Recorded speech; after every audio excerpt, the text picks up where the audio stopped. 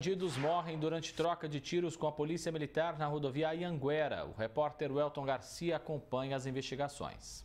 Foi a partir de uma denúncia de roubo de veículos em Sertãozinho que os criminosos estariam fugindo pela rodovia que liga a Cruz das Posses a Jardinópolis que a polícia começou o acompanhamento. Nessa perseguição, os homens atiraram várias vezes contra as viaturas. Chegando nesse ponto, acesso à rodovia Ianguera, os bandidos perderam o controle e bateram no barranco. Ao descerem, entraram em uma troca de tiros com a polícia. Eles foram alvejados e mortos no local.